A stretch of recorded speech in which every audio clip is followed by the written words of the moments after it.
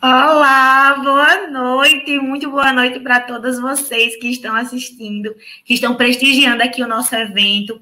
Mais uma vez, boas-vindas a mais um keynote aqui da Python Brasil 2021. Muito obrigada pela participação de todas vocês. Meu nome é Débora. Eu sou uma mulher branca de cabelos agora ruivos, um pouco desbotados, lisos, que estão soltos na altura do meu ombro Estou usando um óculos preto quadrado bem grande e estou usando uma blusa amarelo mostarda, sem manga, mas de alças grossas.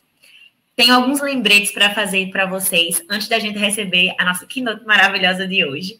E o primeiro dele é: lembre-se, se você puder, doar para a ONG Mães da Favela. A organização da Python Brasil esse ano escolheu essa ONG, que é uma ONG que trabalha com segurança alimentar, para apoiar. Então, você pode fazer isso de duas maneiras.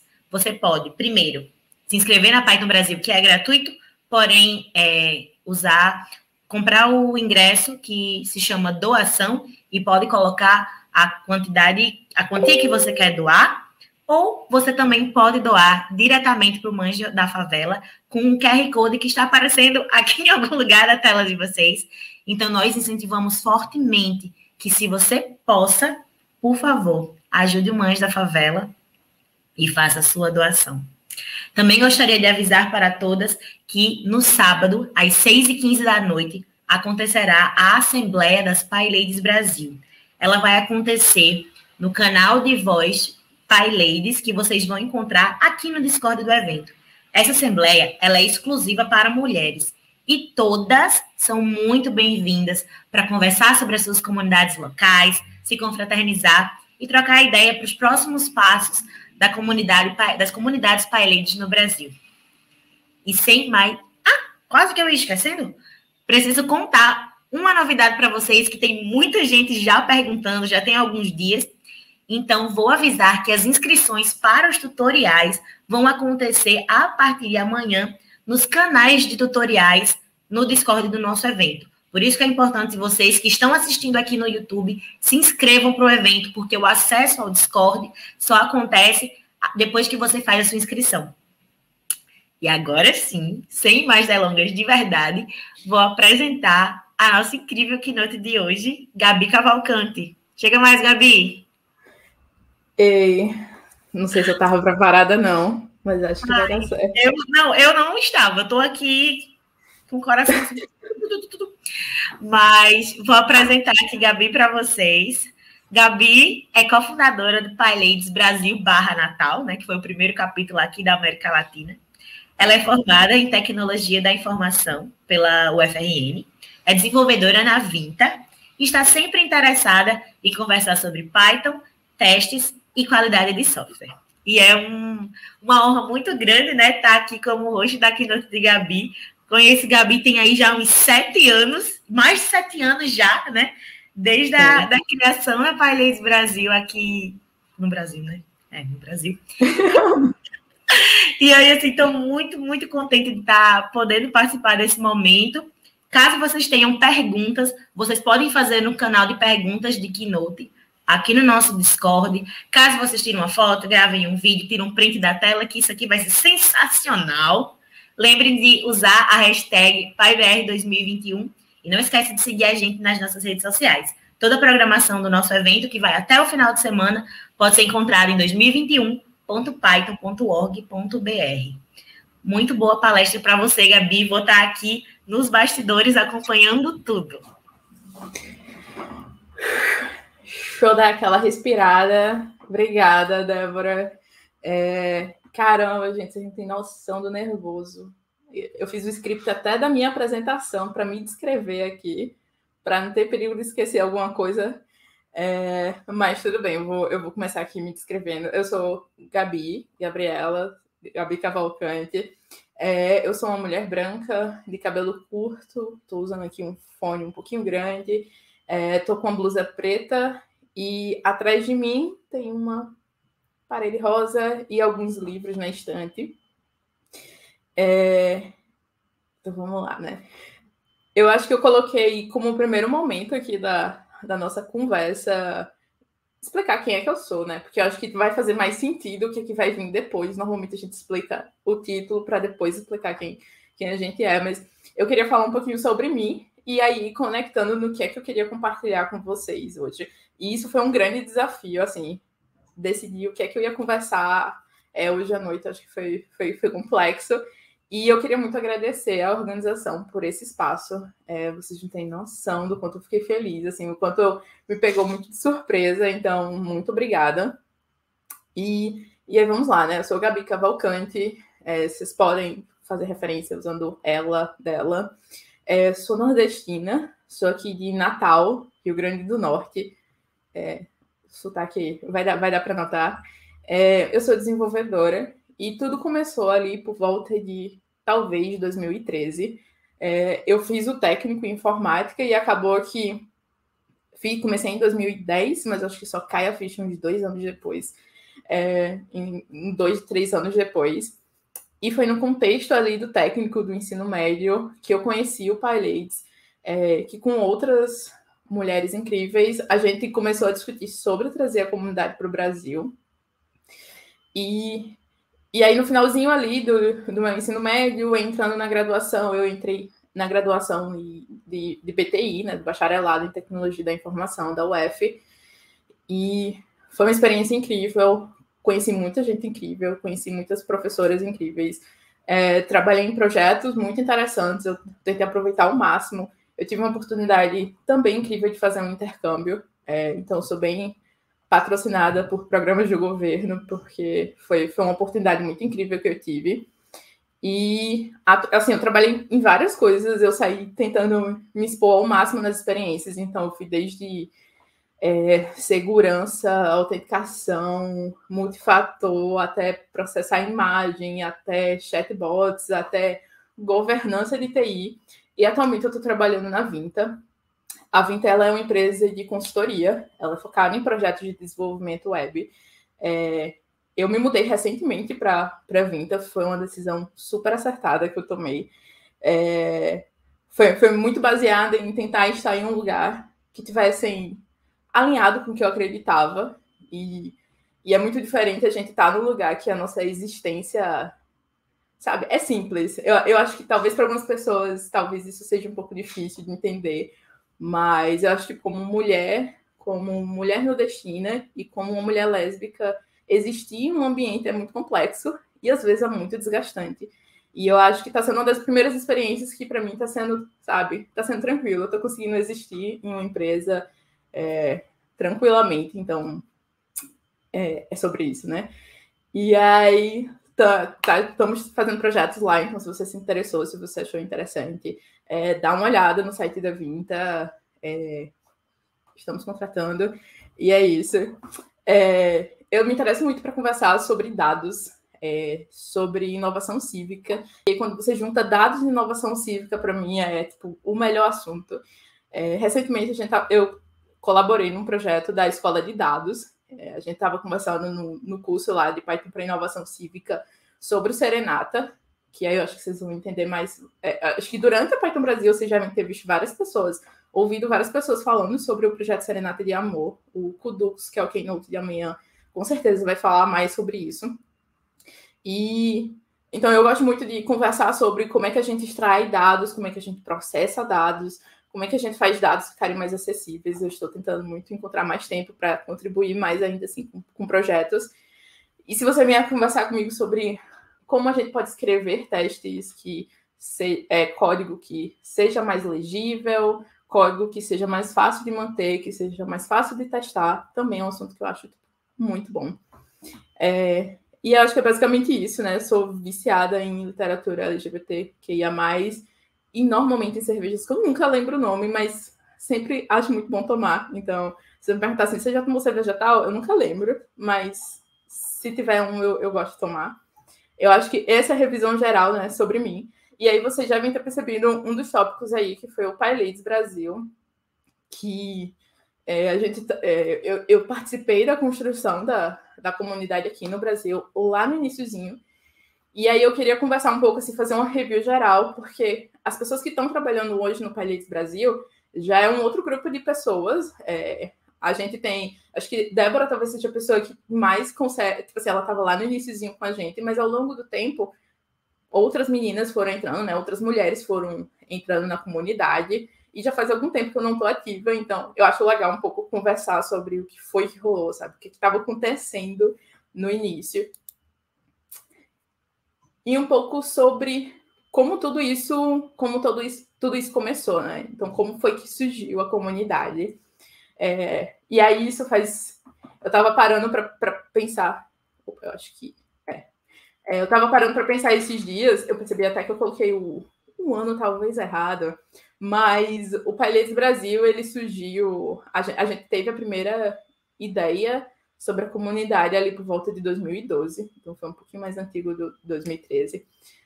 É, foi quando a gente estava em um momento de contribuir muito com a comunidade Python. A gente tem uma comunidade chamada Pot Livre aqui em Natal. E a gente estava participando de, é, de eventos, participando de mini cursos mas em todos os eventos, a grande maioria eram de homens. E, e eu acho que foi quando a gente começou a conversar sobre e se tivesse algo que mulheres estivessem construindo esse projeto, é, estivessem, sabe, na organização, estivessem na palestra, nas palestras, é, porque a gente percebia que iam mulheres para os eventos, mas normalmente elas não iam palestrar, elas não iam para frente, elas não, sabe, falavam assim, ah, eu quero fazer esse exercício aí na frente de todo mundo. E foi um pouco quando a gente teve essa ideia de se a gente for atrás de alguma coisa nesse sentido. É, e aí, quando a gente entra assim, caramba, por que vocês inventaram, assim, qual foi o propósito? O propósito era diversidade, o propósito era o quê? É, e eu vou falar muito, assim, por mim. É, caramba, eu tinha 17 anos é, eu estava saindo do ensino médio e eu, eu acho que o propósito muito era fazer algo que a gente se identificasse. É, eu acho que é algo que a gente busca muito, é se identificar com alguém, é falar assim, caramba, existe algo em comum entre eu e aquela pessoa. E acho que foi muito nesse sentido que a gente procurou alguma iniciativa voltada para mulheres. E eu acho que nesse ponto é, é interessante é interessante dar um, um destaque, né? Porque eu acho que não tinha, não estava muito formulado na nossa cabeça, pelo menos na minha, o que é que eu queria com esse projeto, assim. Eu sabia que eu buscava identidade, assim, eu, eu buscava alguém com quem eu me identificasse, mas, assim, os detalhes da coisa, eu acho que não estava muito bem formulado, principalmente porque éramos pessoas, tipo, muito novas. Então, a gente estava animado, a gente queria um projeto novo, a gente é, queria se identificar mais com as pessoas. E aí, quando a gente olha para trás, é, esse grupo de mulheres que começou eram mulheres brancas e cis. Então, é, eu acho que é interessante a gente entender isso para contextualizar, porque era um grupo de mulheres brancas tentando se identificar. É, e eu acho que isso traz muitas problemáticas que a gente enfrentou na comunidade. Então, e na época a gente tinha muita pouca consciência de classe, de recortes raciais e recortes LGBTQIA+. É, eu, como pessoa, entendi muita coisa durante a construção da comunidade, mas ela realmente começou com pessoas que estavam, tipo assim, tentando entender o mundo e o que é estava acontecendo. Então, muita coisa mudou, muita coisa mudou pra caramba. E aí, eu colo acabei colocando. Ah, pronto. Esse slide está com a data correta. Acho que eu. Não. Ah, não, acho que é. Essa data mesmo correta. É 2013. Então, a gente. O primeiro. O primeiro e-mail que a gente mandou para a organização das paredes foi, tipo, no finalzinho de 2013. É, foi em novembro de 2013. Que eu, a gente foi lá e, tipo, olá, Fulaninha. É, olá, é, a gente queria dar um início à comunidade aqui no Brasil, queremos saber se já existe alguma comunidade, é, se já existe alguma representante aqui no Brasil do Pai Ladies. E foi, foi assim, esse exato momento que a gente deu esse pontapé. E, E aí foi meio que isso, assim, finalzinho de 2013, a gente começou a construir algumas coisas. É, a gente teve muitas, muitas travas, porque toda a comunicação acontecia em inglês, e meu inglês era tipo, vou abrir aqui o Google Tradutor e vou descobrir o que é que eu tenho que falar. Mas foi realmente. A gente quer, a gente vai tentar, a gente vai conseguir. E em 2014 foi o primeiro evento que a gente teve no início de 2014. E esse primeiro evento foi um evento que a gente correu atrás de monitoras estarem participando desse evento e de mulheres estarem palestrando nesse evento.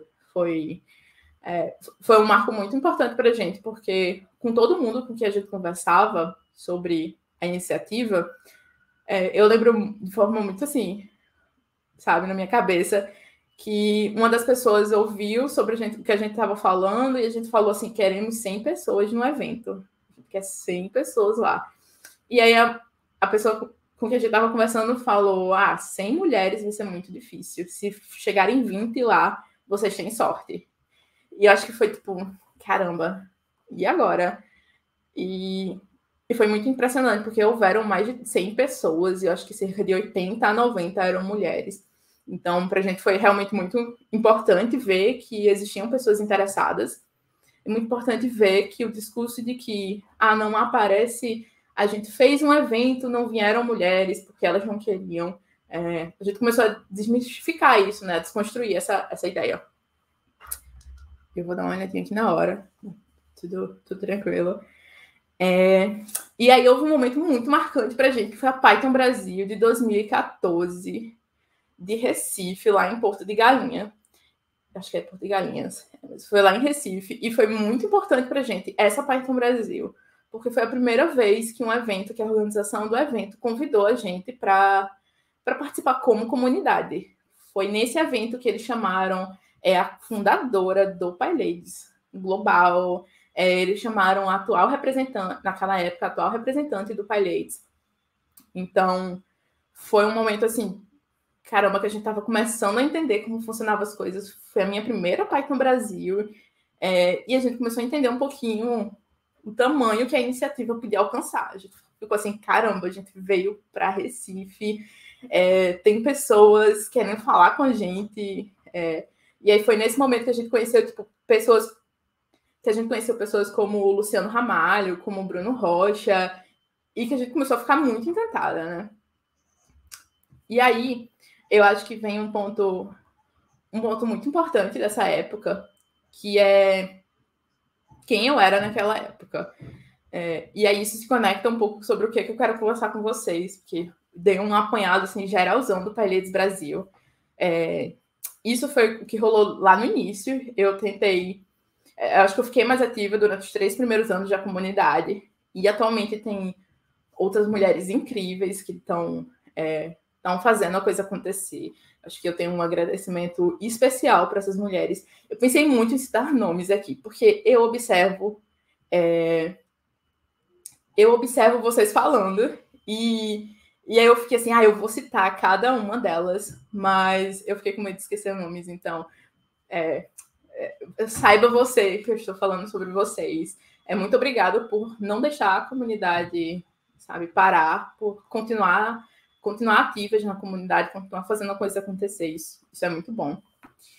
E, e a pessoa que eu era naquela época, sintam-se todas contempladas, viu? Você sabe que eu estou falando para você, é sobre você. É, e naquela época, a, a Gabriela, de oito anos atrás, era absurdamente diferente da Gabriela que eu sou hoje. É, e aí houveram uma série de coisas que eu fui aprendendo ao longo da construção da comunidade. Teve coisa que eu aprendi tipo ano passado. E tiveram coisas que eu senti que por alguém ter me chamado a atenção, a coisa pôde sair melhor, por alguém em algum momento desse percurso ter sentado comigo e falado isso tá errado ou isso tá certo, isso me ajudou muito. E houveram outras coisas que eu gostaria que alguém tivesse falado para mim no início, que teria feito com que talvez algumas coisas saíssem melhor do que saiu. E, e aí eu pensei muito sobre o que falar com vocês, porque eu pensei, ah, vou trazer algo técnico, mas eu fiquei, ah, não, isso aqui vai funcionar só para algumas pessoas. é, eu pensei, eu, eu fiquei remoendo muito o que é que eu poderia trazer. E eu pensei em conversar um pouco sobre coisas que, independente se você está começando na comunidade, se você está criando uma nova comunidade, se você está contribuindo na comunidade, se você está construindo, colaborando, é, sabe, em que momento você esteja da sua vida, mas você tem alguma relação com pessoas e com comunidade, talvez você consiga é, se identificar um pouco com esses pontos com que eu vou conversar, certo? É, porque muita coisa deu, deu para aprender, sabe? Desde, desde aquela época, e eu acho que vai ser um pouco sobre isso. Deixa eu beber aqui uma água. Talvez eu esteja falando um pouco rápido demais, mas vai dar certo. É, se vocês estiverem tendo alguma dificuldade de me ouvir, é, de, ah, se tiver ruim o áudio, alguma coisa assim, podem falar.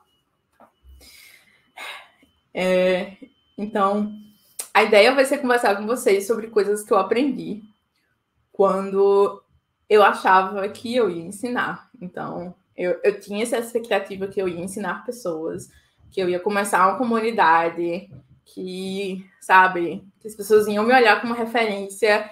E foi muito mais o contrário. É, eu conheci referências na minha vida. É, acho que quem assistiu a Keynote de Ana, de Anne, Diane, é, ela citou várias mulheres que eu fiquei olhando assim, fiquei, caramba, eu devia ter copiado esses slides e recitar novamente essas mulheres, porque foram pessoas que são referências para minha vida, inclusive Anne e muitas outras. Então, acho que a gente teve, teve coisa demais que eu aprendi. É, e a comunidade me mostrou que eu precisava ter isso, sabe? E aí, a primeira coisa que eu queria falar com vocês é sobre algo que parece muito óbvio, algo que parece ser tipo assim, sabe, como assim você descobriu isso, né? É, é que comunidade é coletiva. Ela não pertence a você. E eu acho que demorou para eu entender isso. Demorou para eu entender que a comunidade não era minha. É, e eu acho que foi um misto, sabe? Foi um misto de maturidade na época, foi um misto de nunca ter começado algo como PyLadies Brasil. É... E eu acho que eu, eu tinha muita sensação de que eu quero que as pessoas lembrem meu nome, eu quero estar palestrando nos eventos, e eu quero, sabe? Eu, eu quero estar envolvida. E uma certa sensação de pode deixar, sabe? Estou controlando aqui as coisas, está dando certo.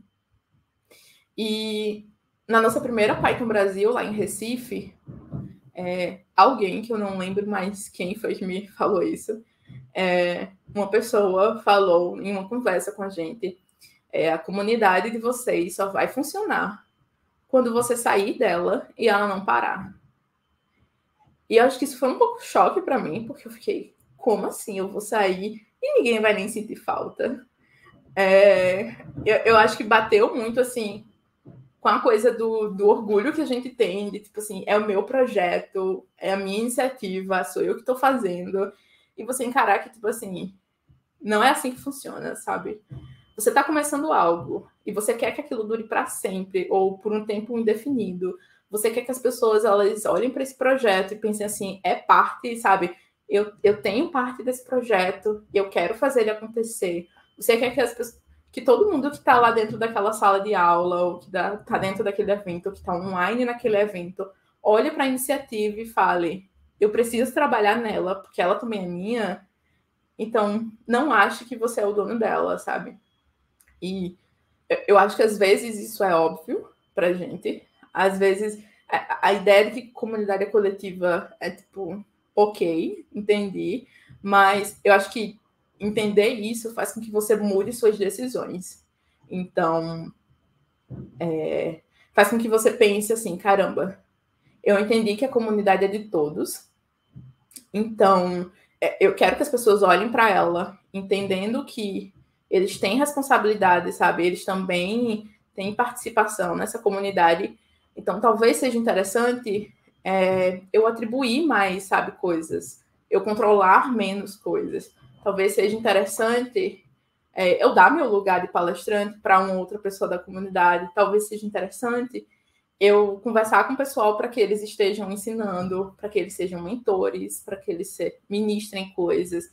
talvez seja interessante que eu comece a ficar, tipo, no, no fundo da coisa, é, mas que as pessoas comecem a sentir que elas são partes ativas daquela comunidade, é, sentir que elas, sabe, alguém chega e fala assim, ah, eu queria palestrar sobre o Palhetes, eu quero falar sobre o Palhetes. Só vai, sabe? Aproveita, fala dessa comunidade que também é sua. É, a gente fala, assim, eu falo, né? Ah, sou cofundadora do Pilades Brasil. Mas no fundo, no fundo, tipo, geral é, é cofundadora, sabe? Se você está entrando agora no Pilades Brasil, é, ou no Pilades da sua cidade, você está ajudando a fundar essa comunidade. Porque no dia que a gente parar de ter gente na comunidade, não tem fundação, sabe? Não tem, a coisa vai cair. Então, entender que essa comunidade não, não lhe pertence, não é uma posse sua, eu acho que foi um dos maiores aprendizados que eu tive. E aí acho importante vocês começarem a repensar sobre como é que vocês estão lidando com a comunidade que você está contribuindo. É, e como é que você está, sabe, se relacionando com isso? Como é que você está reagindo? Como é que suas atitudes estão, sabe? O que, o que é que suas atitudes estão comunicando? Né? Acho que é isso. É... Ah, eu espero que vocês estejam entendendo porque a gente está num evento que é online. Eu estou olhando aqui para a câmera, não estou vendo a carinha de vocês. Isso é. Ai, é péssimo, mas tudo bem, vai dar certo. É... Olhar mais uma vez aqui o tempo. É... Eu estava muito preocupada de, tipo assim, ter 10 minutos de fala e falar, galera, acabou o assunto. Valeu, falou vamos embora, mas acho que tô, tô, tô de boa no tempo. É, meu segundo ponto é comunidade não é escudo. É, não é porque você está construindo a comunidade, não é porque você, sabe, tá assim, participando, não é porque você é do Pai Ladies, não é porque você é de uma comunidade X, que você, que isso significa que existe algo que lhe protege de cometer erros. É, eu acho que é importante a gente reconhecer isso, sabe? A gente reconhecer isso porque fica mais fácil pedir desculpa e tentar mudar. É, eu acho que é mais fácil quando eu entendo que a comunidade ela tem pessoas brancas, ela tem pessoas cis, ela tem pessoas heterossexuais, que atitudes preconceituosas elas, elas correm o risco de acontecer. Isso faz com que você entenda que eu preciso criar mecanismos para sabe? Para lidar com isso, para impedir isso, para, sabe, reagir a isso, para educar as pessoas. Quando vocês encaram que isso é um assunto, fica muito melhor, sabe? Fica muito mais saudável a sua comunidade.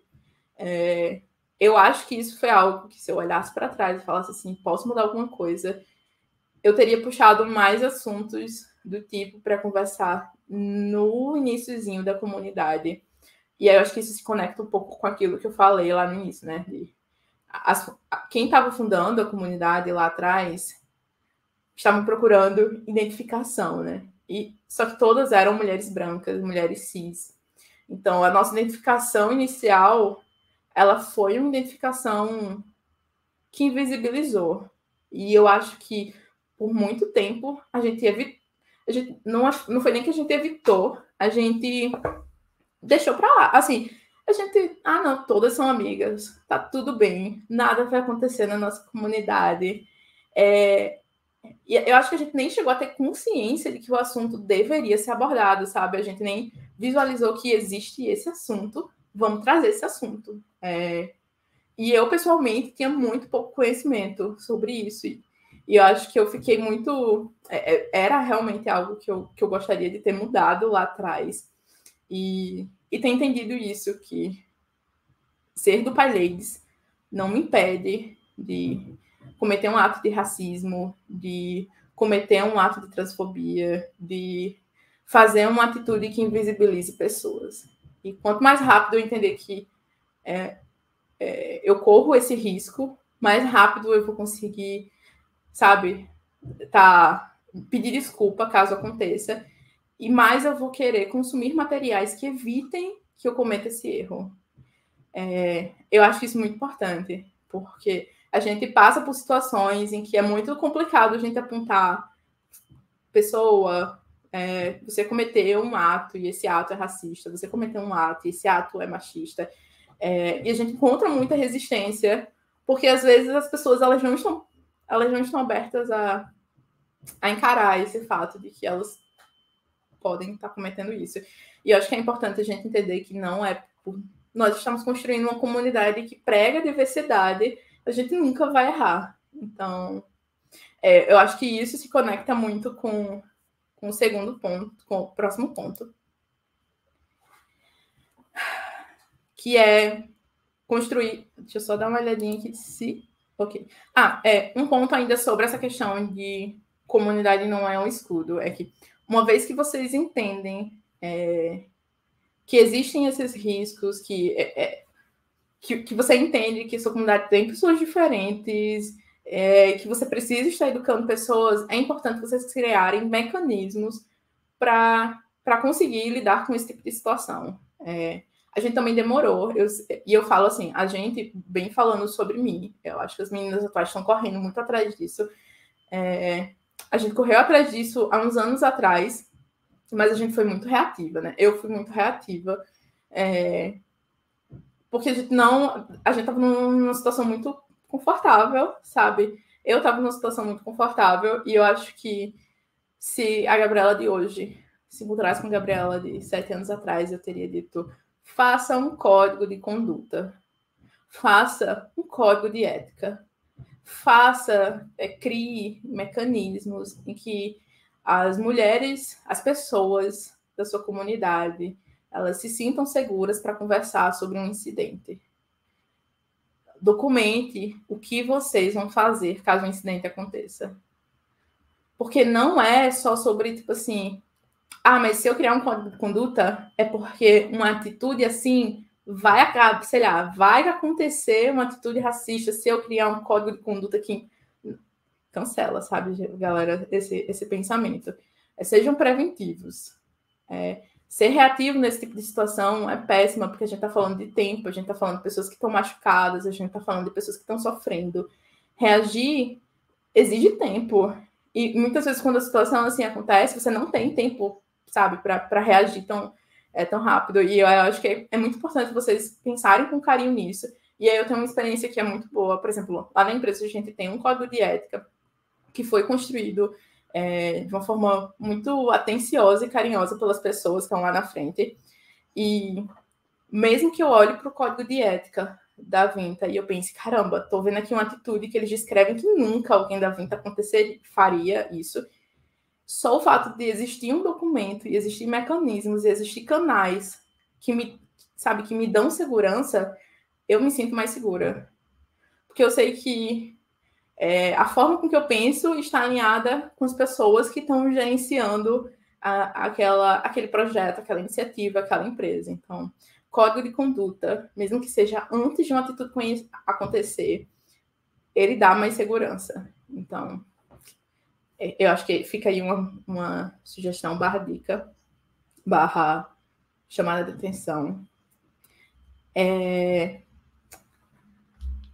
e eu não sei de que horas começou, mas vou falando, vocês me avisam assim, falta 20 minutos, faltam 10 minutos, faltam 5 minutos. É... E aí, ok. Eu acho que conectando um pouquinho no que a gente estava falando, deixa eu só ajeitar um pouco aqui. É... E aí, aproveitando um pouco esse, esse contexto de estar tá numa comunidade, não evita que coisas ruins aconteçam. É, vem a questão de que você construir um ambiente seguro, ele vai ser um exercício. É, ele vai ser um assunto que você vai precisar correr atrás para entender. Vai ser um assunto que você vai precisar, sabe, assistir vídeo, você vai precisar ler, você, sabe, é, é, o atual código de conduta que está lá no repositório, a gente parou para ler vários outros códigos de conduta para falar isso aqui a gente quer, isso aqui a gente quer, isso aqui é importante. É, precisou de várias reuniões para alguma coisa acontecer. Então, construir um ambiente seguro não é orgânico, no sentido de que, tipo, organicamente a segurança vai acontecer. Vai precisar que vocês estejam constantemente mantendo essa segurança. Vai precisar que constantemente vocês estejam revisando o código de conduta. Constantemente vocês estejam conversando sobre isso. E que vocês estejam entendendo se alguma coisa precisa mudar. Porque durante a existência do Pirate, eu acredito que vários pontos foram sendo percebidos como problemáticos ou como potenciais de mudança, né? Problemáticos, é. é. Eu acho que ao longo do tempo outras temáticas foram existindo. Então, não veio tudo de uma vez só, sabe? Não veio.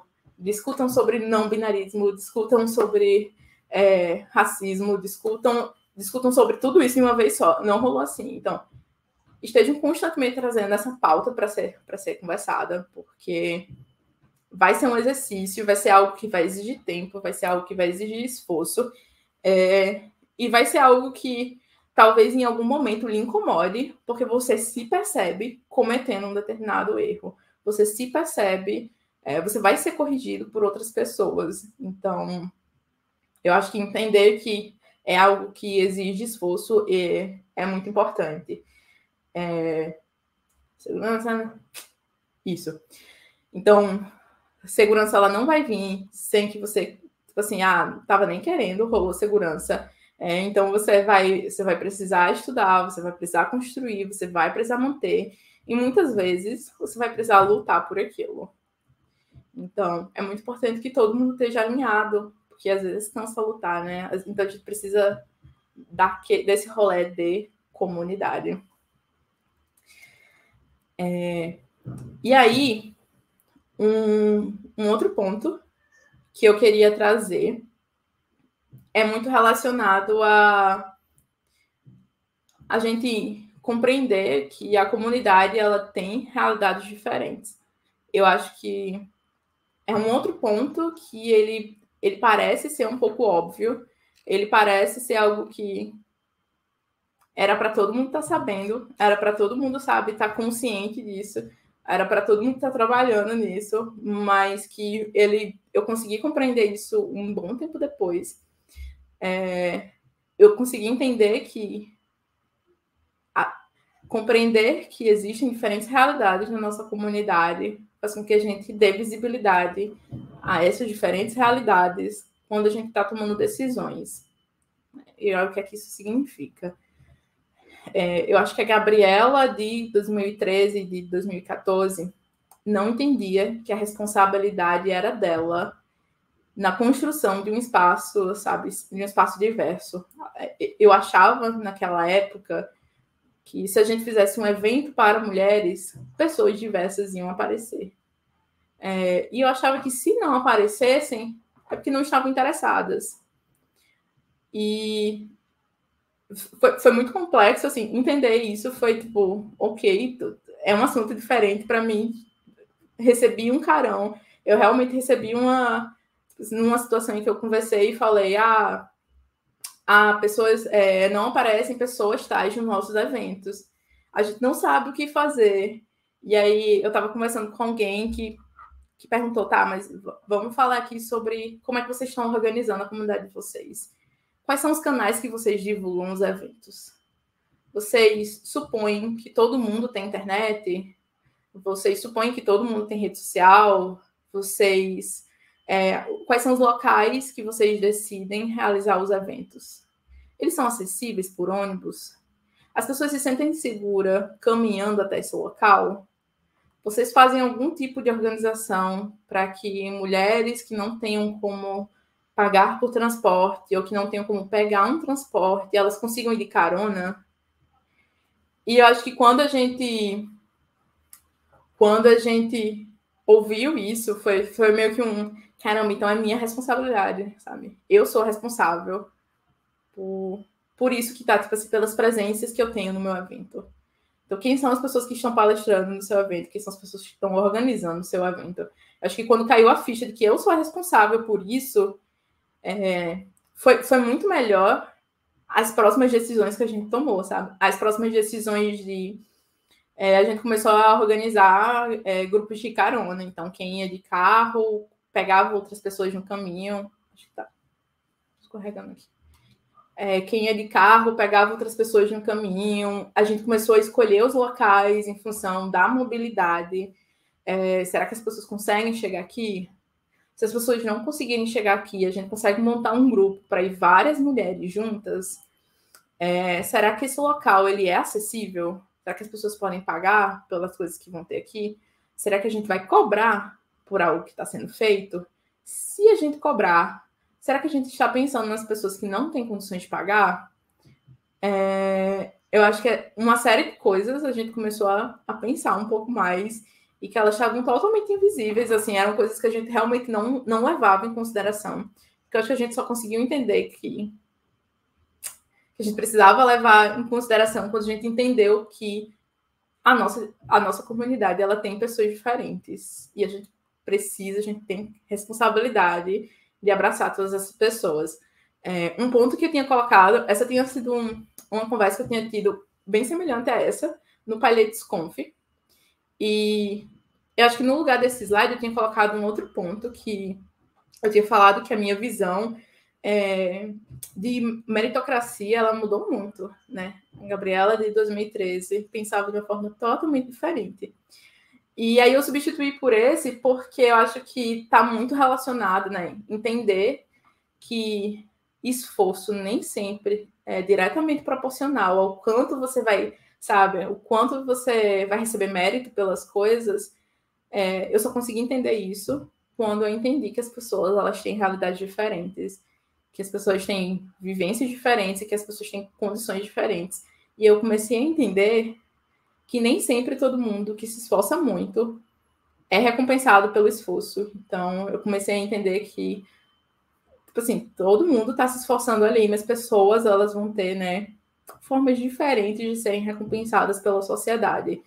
É, e aí, esse meu ponto, nessa conversa, foi uma das coisas que eu percebi que a Gabriela de antes, ela mudou muito para a Gabriela de hoje e a Gabriela de hoje, né? Diferente. É... E aí, deixa eu ver aqui. Então tem, tem esse ponto. É...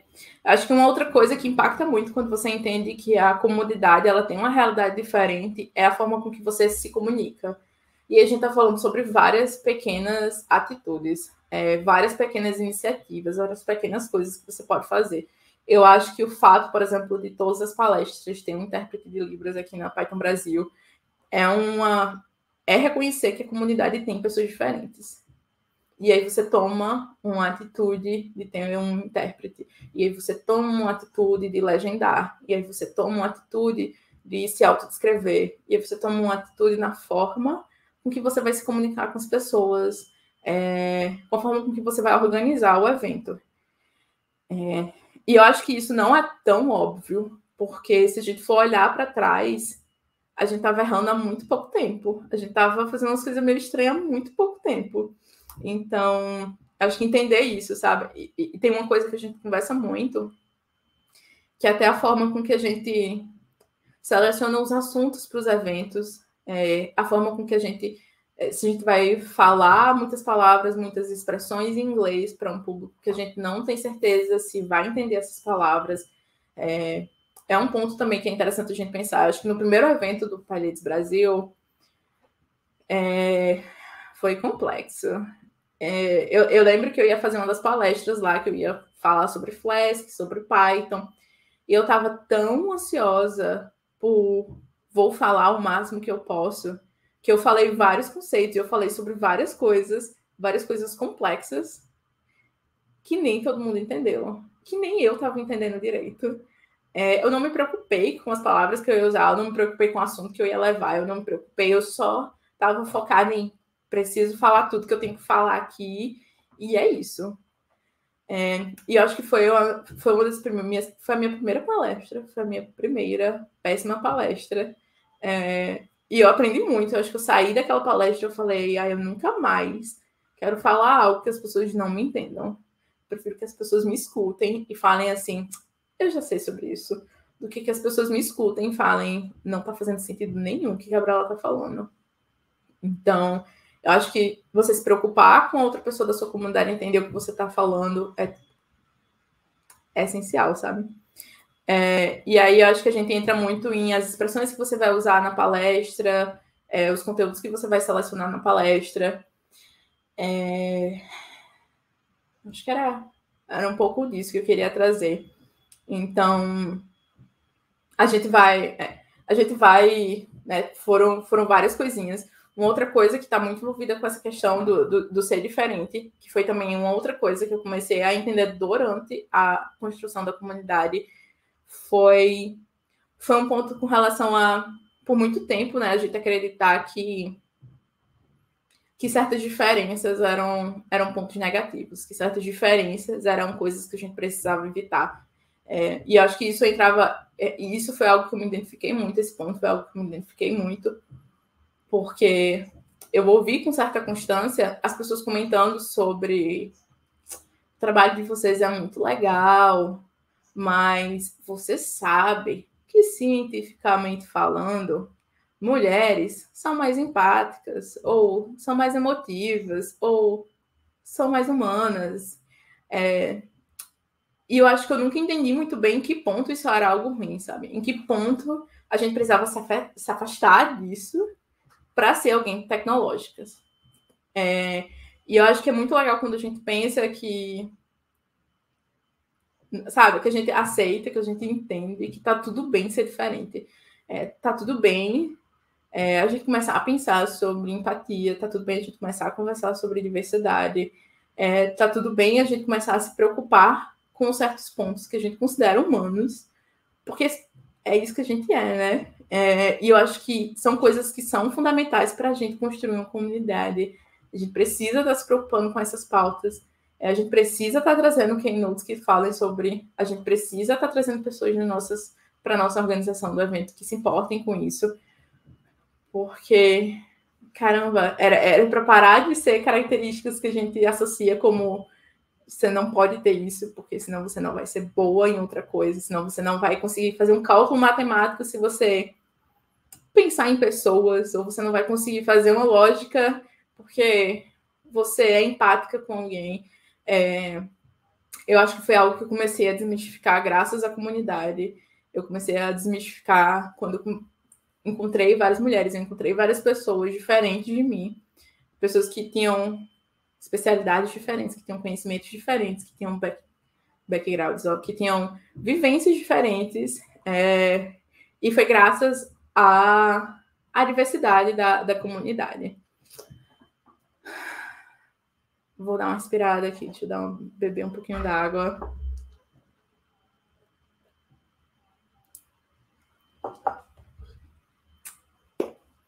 E aí, eu acho que era isso. É, eu decidi trazer alguns pontos e meio que desenvolvendo com vocês e meio que conversando. É, é, porque eu queria muito trazer esses tópicos que eu achei importante quando eu estava construindo a comunidade, é, quando a gente estava é, quando a gente estava realmente tentando fazer a coisa acontecer e foram pontos que eu notei que talvez se eu tivesse entendendo um pouquinho mais sobre isso, se eu tivesse é, se eu tivesse ouvido algumas pessoas sobre isso, se eu tivesse me exposto mais a certos assuntos, eu teria entendido é, eu teria aprendido, eu teria feito diferente. E eu acho que o, né, tudo está muito envolvido, assim, tudo. Todos os pontos que a gente conversa aqui sobre comunidade não ser escudo, sobre você construir um ambiente seguro sem um exercício, sobre a comunidade ser formada por pessoas diferentes, em tudo um pouco, a gente tem essa questão de aceitar as mudanças, então aceitar que coisas precisam mudar, aceitar que a gente precisa mudar. É, e aí, é, eu acho que no final das contas é uma coisa que a gente tem que, sabe, levar um pouquinho com isso, porque houveram realmente várias situações que eu acho que a gente poderia ter se portado de forma diferente, que a gente poderia ter é, se posicionado de forma diferente e que muito por uma falta de preparo a gente não fez isso. E, e eu acho que são coisas que a gente pode fazer certo, a gente pode fazer melhor das próximas vezes, e não só sobre o Paredes Brasil, mas sobre a comunidade que você está construindo, sobre a empresa que você está construindo. Então, quando a gente fala sobre é, se responsabilize por seu evento ter ou não ter pessoas diversas, a gente está falando não só sobre evento e não só sobre comunidade, a gente está falando também sobre sua empresa, a gente está falando que não basta acreditar que não vieram mulheres para a seleção porque elas não quiseram, não vieram pessoas negras para a seleção porque elas não quiseram. É, se não está vindo, por que, que não está vindo? Aí as mesmas perguntas que a gente faz a nível de comunidade, a gente faz a nível de empresa, onde é que você divulga a sua vaga, é, como é que você compartilha a sua vaga, quais são os critérios da sua vaga, é, quais são os suportes que você dá, considerando que a sociedade não é uma sociedade justa, em que nem todo mundo tem acesso às mesmas coisas. Eu acho que, no final das contas, a ideia é muito levar um pouquinho disso para a organização que você tiver que você tiver criando. E é, eu acho que era, era um pouco isso que eu queria trazer, era um pouco pontos que realmente fui aprendendo e que eu realmente fui identificando ao longo do tempo. É, e agradecer, caramba, agradecer muito a organização, agradecer muitas pessoas que atualmente estão levando o evento, que atualmente estão levando a comunidade do PyLadies, é, agradecer a todas as meninas que contribuíram durante esse processo lá no início, né? A gente teve outras pessoas que meio que cofundaram naquela época, mas eu tenho muito a agradecer a vocês por vocês estarem fazendo a coisa acontecer. É, uh, estou muito nervosa, mas é isso. E aí, aproveitando, né? Depois dá uma olhada lá no site da Vinta. É, a gente está contratando código de ética. É, e aí, galera, muito, muito, muito obrigada. Minha gente, me colocaram aqui na tela quando eu tava assim, ó. Eu achei isso errado, viu, Fábio? Minha gente! Não, não vou nem comentar. Depois eu, eu tô vendo aqui. Mas, ai, Gabi, muito obrigada. Foi um abraço, assim, ouvir. Um abraço, não só um abraço, mas também um alerta, né? Para a gente ficar atenta para todas essas questões. E aí, não ficar esperando chegar uma pessoa que, que tem essas diferenças, como você falou, para a gente começar a se ligar que tem muita coisa que precisa ser trabalhada. Né? Não esperar acontecer alguma coisa, não esperar, porque nós, nós estamos no meio e nós precisamos buscar essas coisas. Então, além de um abraço, foi um alerta para ficarmos todas atentas. Ai, peraí, minha gente, calma. Peraí, que eu vou, eu vou olhar o Discord aqui. Mas enquanto o Gabi estava falando, né? Gabi estava comentando que hoje existem outras pessoas que estão se tocando na comunidade e que ela não está mais tão ativa, mas como pessoa que ainda está lá, o que eu tenho a dizer é a visão do que é bom, a visão do que precisa ser feito, que você tem mesmo não estando ativa hoje, é o que está sendo conversado hoje dentro da comunidade. Então, assim, essa visão realmente do que é bom, ela evolui, ela perpassa tudo. Mas agora eu vou olhar o Discord. Hein? O Discord está um pouco ensandecido e triste, muito triste, porque acabou. A gente estava por aqui, aí até meia-noite. Gabi estava dizendo, acho que só vou falar 10 minutos e vai acabar. Não, não durou 10 minutos. Mas tem muita gente elogiando muito aqui no Discord. Inclusive, é, dá uma passadinha lá, Gabi, para você ver os comentários das pessoas. Tem muita mensagem, deixa eu achar as perguntas. As perguntas estão mais aqui embaixo. E aí eu vou. Tem três perguntas que eu estou identificando aqui. Ah, uma delas é da Dandara, e ela fala que. Ela pergunta, Gabi, onde você enxerga a PyLadies e a comunidade Python em geral daqui a alguns anos? PS, você é perfeita. Tem que ler tudo, né, minha gente? Tá perguntando. E galera, é... eu acho que até com meu, meu complexo eu, eu tentar imaginar, porque eu acho que, caramba, se há oito anos atrás alguém tivesse me perguntando onde é que o Pai ia parar naquela época, eu com certeza não ia imaginar que ia ter mais de 40 capítulos espalhados pelo Brasil, é, que a gente ia ter tanta iniciativa, que a gente ia ser uma comunidade tão ativa, que a gente ia estar impactando pessoas. acho que quando eu comecei a ver pessoas que, tipo assim, estavam entrando na faculdade e falando, ah, eu entrei na faculdade porque fui num evento do Pai Leite, eu fiquei, caramba, a gente está afetando uma geração de pessoas.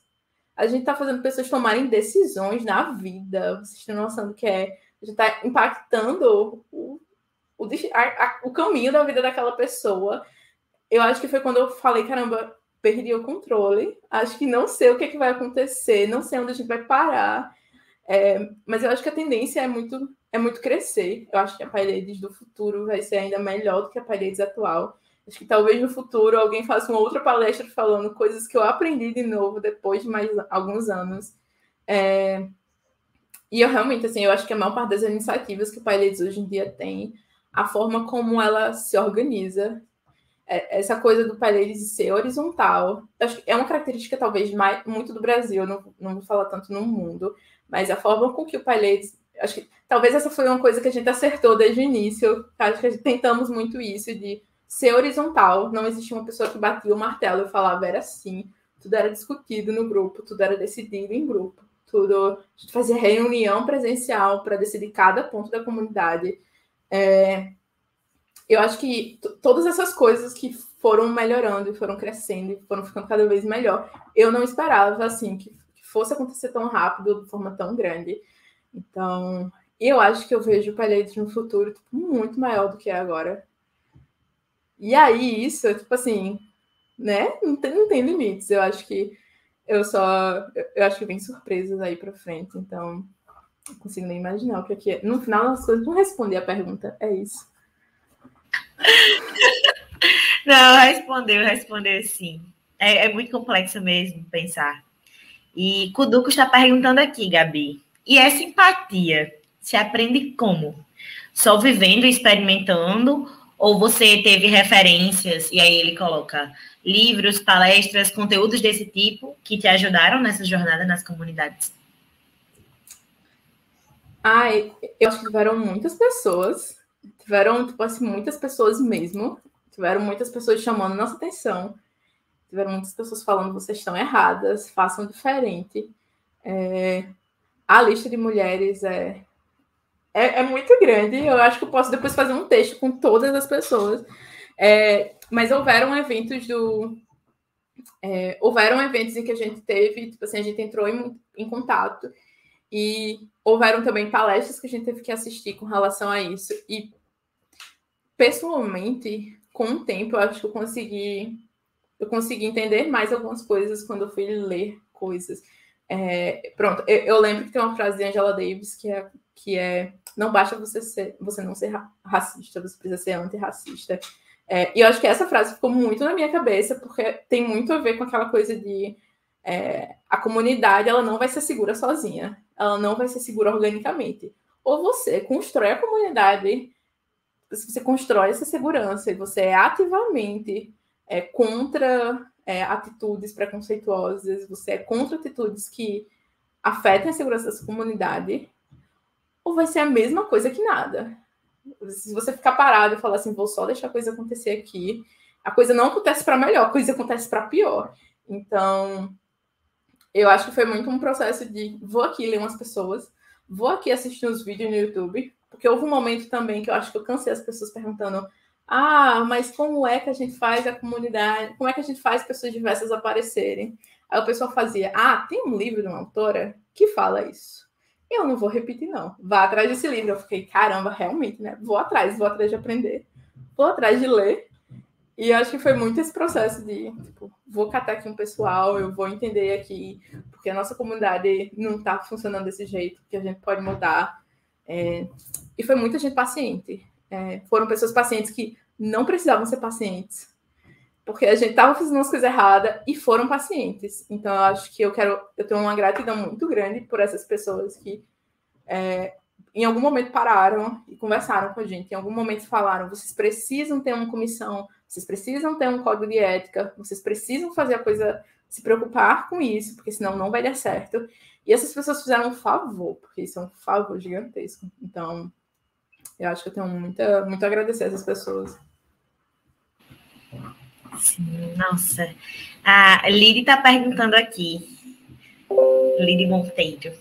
Como você acha que empresas, né, já que você estava falando, né, em relação a fazer isso dentro da sua comunidade, fazer isso dentro do seu evento, fazer isso dentro da sua empresa, como que você acha que empresas podem concretizar ações afirmativas que ultrapassem a intenção barra propaganda?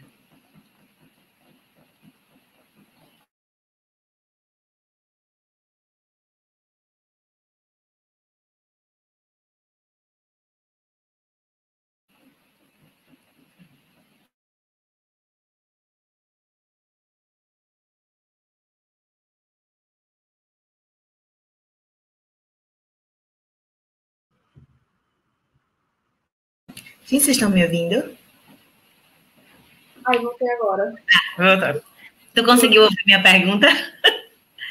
Ah, um pouco. É, ações afirmativas que ultrapassem a, a propaganda, que ultrapassa a propaganda, que ultrapassa essa intenção, entre aspas, né? Mais uma, uma questão de propaganda.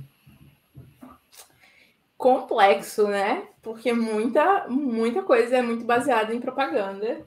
Eu acho que a gente teve mesas incríveis aqui na Python Brasil, que inclusive se falou sobre isso, inclusive a de hoje de manhã. É, assistam a mesa de hoje de manhã de conversa, foi, foi muito boa. E o pessoal conversou um pouquinho sobre, sobre isso. Mas, caramba, ações afirmativas. Ah, tem várias. Assim, é, eu acho que a gente realmente pode, pode encontrar várias. É, eu acho que algumas empresas estão, estão tentando, mas, por exemplo, eu, eu acho que tem muitas atitudes como sua empresa vai organizar um evento, sua empresa vai patrocinar um evento. Esse evento é, é o assim, eu tenho um checklist que é o básico. Esse evento tem uma organização, tem uma palestra, tem palestrantes que são diversos. O que é que a organização e os palestrantes do seu evento estão comunicando? Eu acho que é, são, são essas coisas, assim, o que é que quem compõe a sua empresa, o que é que, que mensagem essa está tá, tá sendo transmitida. É, já rolou várias vezes de eu olhar para um processo seletivo e eu falar, caramba, não sei se eu estou disposta a compor essa empresa, porque eu sinto que vai ser desgastante. É, então, normalmente nos processos seletivos das empresas, eu perguntava qual é qual é a porcentagem de, de pessoas LGBTs, ou então de mulheres, de pessoas negras da sua empresa. E a empresa, tipo, a pessoa não tinha noção. Ah, mas quais são as iniciativas afirmativas que sua empresa tem? Então, é, então acho que essa é uma, é uma coisa interessante, é façam coisas, concretizem coisas que sejam realmente efetivas. É, se sua empresa tem um. Eu acho muito interessante empresas que têm projetos do tipo: ah, a gente exige Python, ou a gente exige esse conhecimento, mas a gente sabe que esse conhecimento não é acessível. Periodicamente, a gente vai organizar um treinamento. Um treinamento que é focado em. É, tem vagas afirmativas. A gente quer treinar as pessoas para que elas tenham acesso a esse conhecimento. E aí, como é que a gente vai treinar? É, como é que a gente vai tornar esse treinamento acessível. A gente quer que essas pessoas, em algum momento, sejam contratadas pela empresa, ou a gente quer fazer esse treinamento e quer dar bolsas para quem for parar para estudar. Porque nem todo mundo vai ter condições de falar assim: vou sair do meu emprego e vou participar do treinamento dessa empresa. Porque eu estou de boas, aqui eu estou livrão, eu, tô, eu, eu quero fazer esse treinamento, não, não preciso nem ganhar dinheiro. É, eu acho que entender esses pequenos pontos de eu vou fazer um treinamento, esse treinamento consome muito tempo, a gente vai ter algum, alguma coisa do tipo: é, vamos pagar o almoço para as pessoas que vierem, vamos dar um vale para as pessoas que vierem, vamos dar uma bolsa para as pessoas que participarem. É, a gente exige inglês. Como é que a gente pode fazer para que mais pessoas que não tenham acesso ao idioma consigam participar do nosso processo? Como é que a gente vai dar chances? Como é que a gente vai dar oportunidades? Eu acho que é muito você entender que nem todo mundo tem acesso. E caramba, quando você coloca isso na cabeça, gente, você entende que tem muita coisa para fazer. Se é uma coisa que tem, é coisa para fazer. Para que a coisa saia, pare de ser propaganda. E eu acho que, eu não sei muito bem, assim, empresas que têm um discurso que ficam muito propaganda, é uma falsa sensação de segurança muito grande que elas têm de que a, a realidade não vai sair, né, da parede, das, da parede da empresa. É a sensação de ninguém vai contar que não funciona. No final das contas, todo mundo sabe a má fama, só você que não.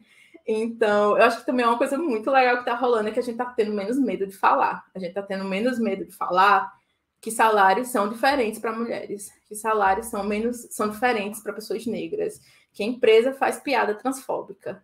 A gente não está tendo mais medo de falar sobre isso. Então, se você não está tomando cuidado com isso, a gente vai falar sobre. E as pessoas vão deixar de entrar na sua empresa. Isso vai afetar o processo seletivo. Sua empresa só tem assédio, é, qualquer tipo de assédio, as pessoas vão postar isso no LinkedIn, as pessoas vão postar isso na rede social. Então, eu acho que a gente está com esse, essa coisa muito fiscalizadora e, e é sobre isso, e tá tudo bem, né? E tem que continuar mesmo. Mas, caramba, tem muita gente da comunidade. Assistam os, uh, o pessoal, tanto os keynotes que rolaram, Anne como keynote perfeita, o Dux que vai ter amanhã. Assistam essas palestras, assistam as rodas de conversas de manhã, porque muita gente falou sobre muita coisa importante. E é meio que isso. É, essa parte do Brasil está sendo realmente histórica. Ai, ai, deixa eu ver aqui. Tem mais perguntas. E me liberaram para fazer, então eu vou fazer. Ana Cecília está perguntando. Gabi, esses valores são muito importantes para a manutenção de uma comunidade saudável e segura para todas as pessoas. Mas, para as novas integrantes, às vezes esperam da PyLadies apenas eventos técnicos. Hum. Como você acha que poderíamos apresentar esses valores para que permaneçam, ainda que não estejamos mais na comunidade?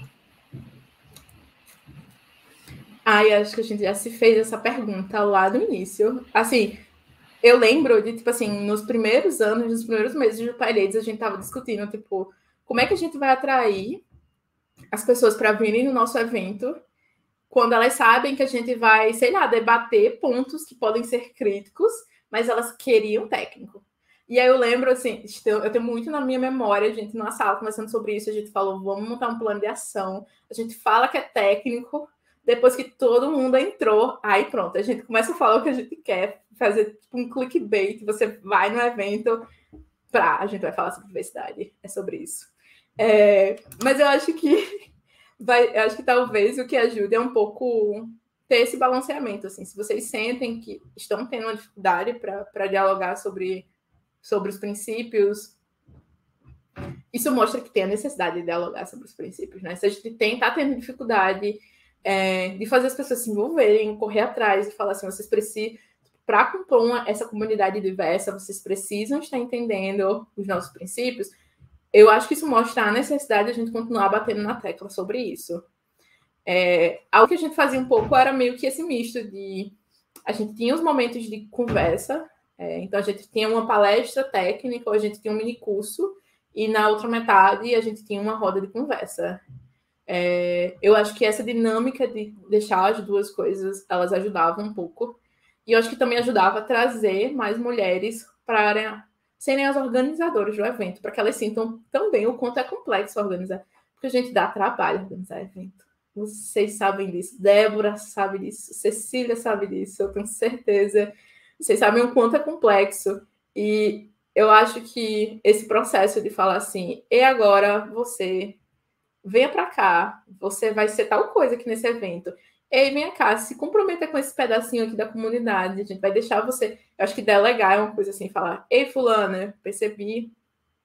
É, percebi que. Eu nem sei se fulano, acho que é uma expressão meio nordestina, mas. Ei, pessoa, é, vem aqui, venha contribuir. Ou então, a gente tem esses papéis. Você quer pegar, ser responsável por isso aqui, você quer ficar aqui nesse ponto, você pode me ajudar nisso aqui. É, a primeira iniciativa que a gente teve do Pai Ladies foi a coisa da mentoria. A gente chamou, tipo, mentoras, a gente quer mentoras participando do evento. E veio muitas mulheres ao longo do treinamento, porque eu acho que a gente chamou várias mulheres e a gente colocou um treinamento até o evento. E algumas mulheres foram, tipo assim, falando, não tenho tempo, não, não deu certo.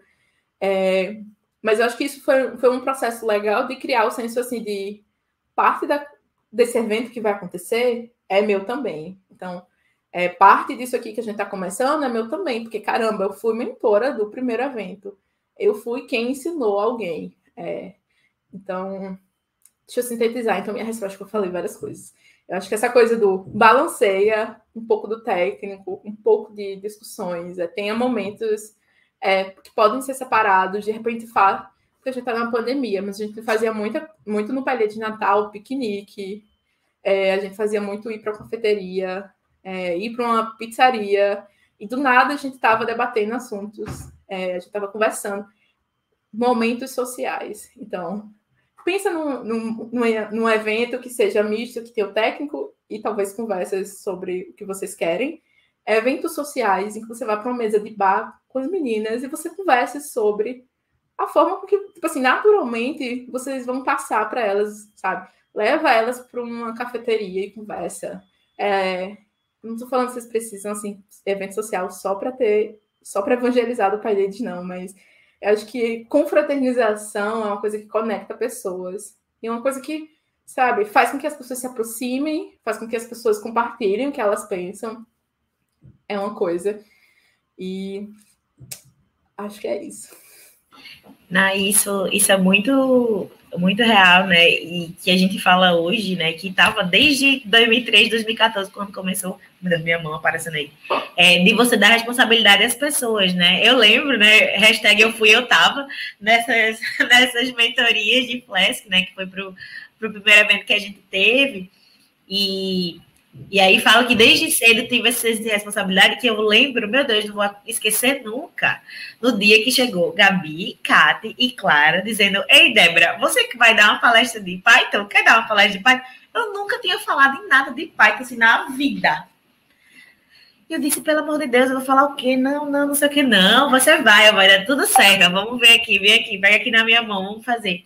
E esse mesmo sentimento é o sentimento das pessoas que estão entrando hoje, sete anos depois, quase oito anos depois. Né? Então, tem essas questões todas que, que têm evoluído com o tempo, obrigada, universo. Uhum. E tem esses, esses, esse sentimento, assim, que, que fica, né? E perpassa, assim, com todo, todo o tempo que passou, ele tá aí. E aí tem só mais uma última pergunta que foi relacionada sobre esses valores, né? Que foi a pergunta de Ceci. Raquel pergunta. Ela queria saber é, como, onde é o melhor canal para debater alguns desses pontos que já estão meio fechados, que não são imutáveis, né? Ou seja, não apenas apresentar, mas sempre rever uma cultura de comunidade, né, de pai ladies que é viva. Então, quais seriam os, melhor, os melhores espaços para se falar sobre isso? E caramba, pensando aqui um pouquinho sobre isso. É... Tá. Eu acho que é uma coisa assim, uma iniciativa muito interessante que vai ajudar, que ajuda a comunidade a estar tá se desenvolvendo, é estar tá tendo eventos como a Python Brasil, é estar tá se expondo em rodas de conversa, é estar dando lugar para pessoas diversas, é estar dando lugar para pessoas é, conversarem sobre coisas. Eu acho que abrir espaço é uma das formas de a gente se manter como comunidade viva.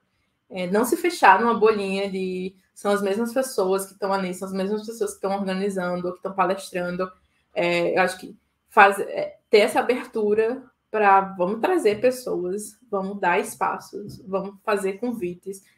É, é talvez uma das maneiras de a gente manter a comunidade viva no sentido de a gente sempre está aprendendo, a gente sempre está ouvindo pessoas, a gente sempre está entendendo existências diferentes. E eu acho que a gente tem muita oportunidade para trazer pessoas que talvez nem sejam de TI, que talvez nem sejam de exatas, para estar tá conversando com a gente sobre, sobre certos assuntos. É...